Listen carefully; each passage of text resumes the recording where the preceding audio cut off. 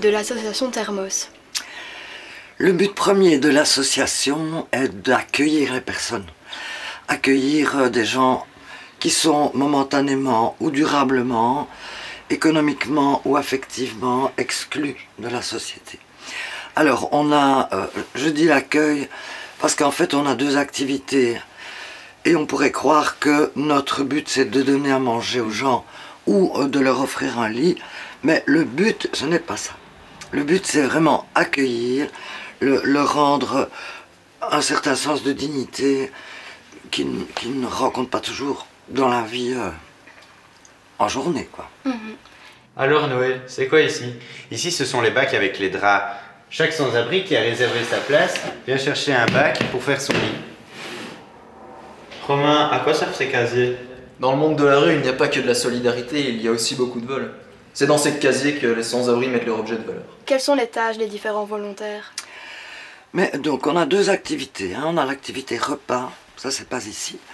Et ici c'est l'abri de nuit. Et dans l'abri de nuit, il y a euh, deux sortes de bénévoles. Il y a des bénévoles qui passent la soirée avec les gens, donc, qui euh, parlent avec eux, qui, qui leur, les soignent un bobo. Je dis bien un bobo, hein, parce qu'on n'est pas une, un hôpital. Donc des, des- des petites blessures, des petites choses comme ça.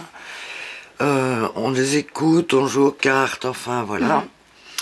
Et puis euh, il y a des bénévoles aussi ici dans l'équipe qui vont passer la soirée, mais aussi la nuit. Donc ils vont rester ici toute la nuit. Deux bénévoles vont dormir dans les dortoirs avec les gens. Et alors il y en a un qui dort ici, un troisième.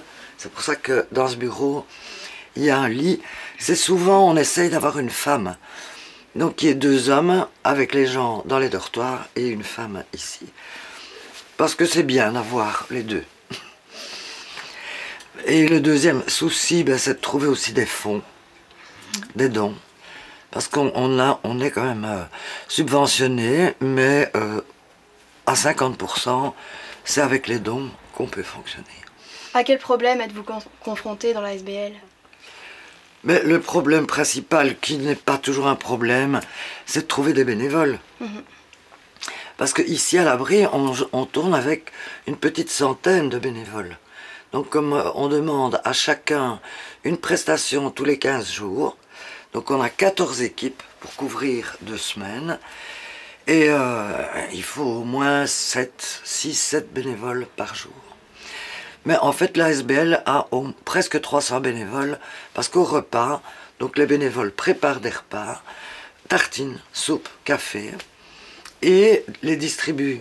C'est quoi tous ces sacs de croissants? Certains magasins offrent de la nourriture pour les sans-abri et les bénévoles viennent préparer le café et faire les services. Janvier quoi, 9 plus 7. Mais Janvier. le plus 7, c'est en janvier. Oui, t'as mis décembre.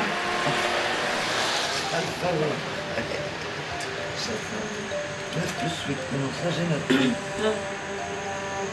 Voilà. Pourquoi avez-vous bu, monsieur Pourquoi j'ai bu Ouais. Pour oublier Vous, vous me dites ça à moi. Moi Ça veut dire comme si j'adore le fleurs. Franchement, j'aime les fleurs. moi, il y a mon compagnon. Je suis sourd rien qu'à t'écouter là. Ah, j'adore. ah ben, ah ben, c'est bien. C'est bien, c'est pas bien. Merci beaucoup pour vos réponses, c'était très intéressant. Mais Merci de vous intéresser à notre action. De 20h45 à 21h, Samira et Martine analysent les critères qui vont leur permettre de savoir qui a droit à dormir dans l'abri ou pas.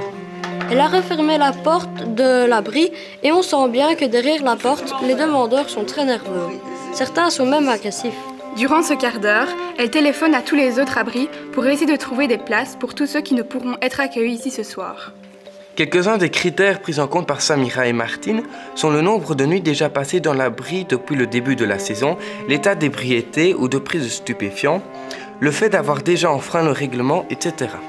À 21h, les portes sont ouvertes et les sans-abri apprennent qui pourra rentrer et qui devra aller ailleurs.